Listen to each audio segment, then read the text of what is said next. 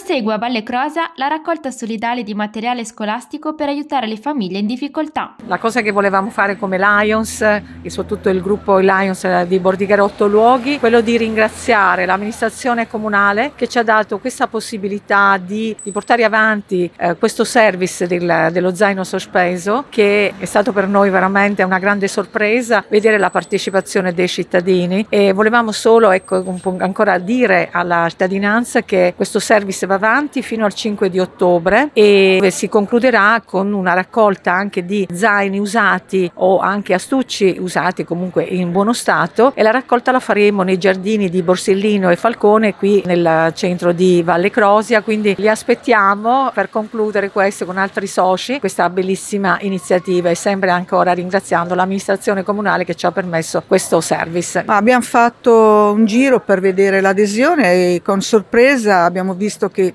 senza sorpresa devo dire perché Valle Crosia è sempre molto presente nella parte diciamo della solidarietà. Però dicevo con sorpresa abbiamo trovato tanto materiale che andremo poi a ritirare e dare ai servizi sociali dove le assistenti sociali sanno già a chi darlo perché abbiamo comunque un elenco nutrito di persone che sono veramente in difficoltà soprattutto per quanto riguarda magari gli zaini, gli astucci e quindi anche questa iniziativa ulteriore di raccogliere anche materiale usato usato però chiaramente in buono stato può essere un ulteriore aiuto che viene dato alle persone che ne hanno bisogno. Ringrazio veramente il service del Lions perché comunque come sempre vanno a dare delle risposte in diciamo contesti dove veramente la necessità è evidente e in più eh, colgo l'occasione appunto per dire che ancora fino al 5 ottobre c'è la possibilità di fare delle donazioni, servirebbero un po' di matite, penne, gomme, anche cose piccole piccole però utili